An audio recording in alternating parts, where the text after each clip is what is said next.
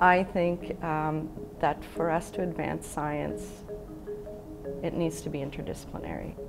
I work in the environmental field. It has connections with biology, with chemistry, uh, with environmental studies, with policy. But in order to understand or um, apply different approaches for treatment or for enhancing renewable materials, you really need to work with other people that understand those fundamental fields a lot better than you do. So I'm the chemist on the team.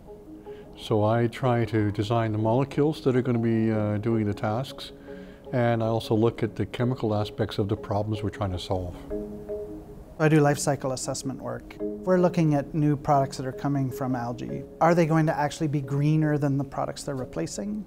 Are they going to do the work that needs to be done? Uh, are they going to cause other problems?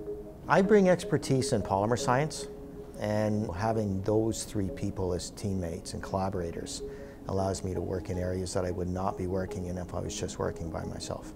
We've developed ways of converting algae into fuels. We've developed things like uh, greener paints. We've made all sorts of products for purifying wastewater. You learn more about your own field when you're exposed to other fields. It's been a magnificent collaboration actually.